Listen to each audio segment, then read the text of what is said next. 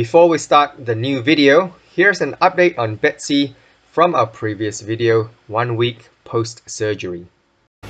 So, we're back at the tank with our Gourami and you can see right here, here, his nose is healing up well. Uh, we did some histology uh, testing of the lump because we didn't we want to make sure that it wasn't mycobacteria, um, which is in another video we've showed.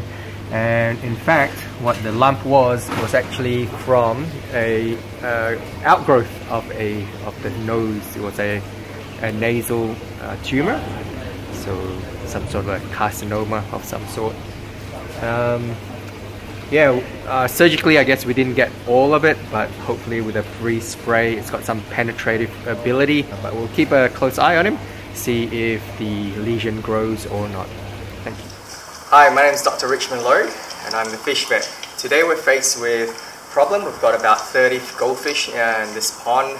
Uh, no new introductions of plants or fish or anything of that sort for over a year. Uh, but over the last week, uh, we've had a few fish present with skin ulcers, excess mucus, dropsy, and as well as deaths. So we've had six deaths already in the last week. We've tested the water quality. Ammonia nitrite nitrate was zero, carbon hardness was at 5 degrees, pH was between 8 to 8.5, uh, which is quite high, above the optimal range, but it's not likely to cause any problems and we can expect that the pH would be high even though it's a plastic lime pond. Uh, all this is limestone or concrete so when the rain pours down it's just going to flow in and raise the, the carbonate hardness and, and pH um, in that way. So now we're going to investigate um, by taking gill biopsies and skin mucus scrapes and check that down the microscope. I'll just take a gill biopsy. Yeah.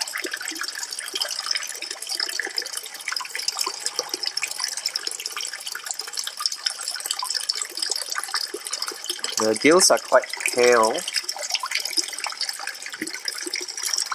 And skin mucus scrape.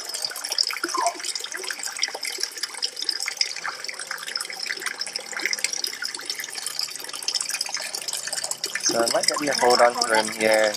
I just put the slide down the microscope. Mm. And if you have a look down here, this is the um, mm. gill biopsy. Mm. Um, they're quite anemic, so they're probably losing quite a lot of blood because it's not very red.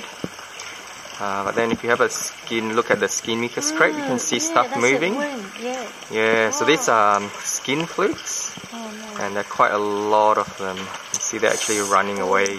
Yeah. But it's not a difficult thing to treat.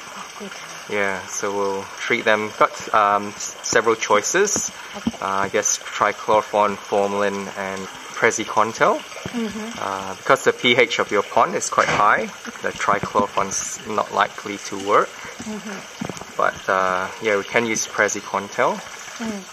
And because they've got big ulcers on the body, yeah. they'll probably be losing a lot of body fluids, uh, body mm. salts, and um, absorbing a lot of fluid that yeah. gives them probably the clinical sign of dropsy, the mm. swelling and the scales protruding. Ooh, check out this little guy. He's got the worst ulcers of the group, so I'm going to have to give him some special attention. I'm going to apply some fish bandage as well as this betadine antiseptic. Together, they're going to create a barrier that will prevent bacterial infection setting in. This will help him heal a lot more quickly and make him feel a lot more comfortable. So we found a heap of mucus and a heap of skin flukes down the microscope. So what the course of treatment uh, in this case will be praziquantel, uh, 5 milligrams per liter and we're going to do it twice because it's a very planted um, pond so even though a single treatment should suffice just because it's heavily planted there are probably ways in which the uh, parasites could evade uh, the treatment um, by hiding in some vegetation. What we're going to add as well is vitamin C to improve the immunity with wound healing as well And we're going to treat the ulcers because it's likely going to be secondary bacterial infection with trimethoprim sulfonamide.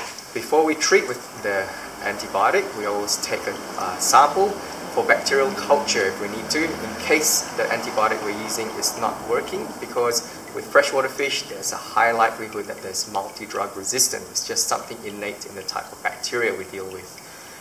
We're also going to add some salt. Uh, we're going to use 2 grams per liter of salt. And the reason for that, we normally use 5, but because we're relying on the plant filtration to keep the ammonia and nitrite down while we're using, especially while we're using the antibiotics, which will harm the biofilter, uh, we don't want to harm the plant. So we're going to use a maximum of 2 grams per liter of salt. Uh, that's going to help with the osmoregulatory challenge especially due to the skin damage that they've sustained, so that we maintain the fluid in slightly better balance so the fish is not going to become waterlogged due to the hyposaline environment that they live in.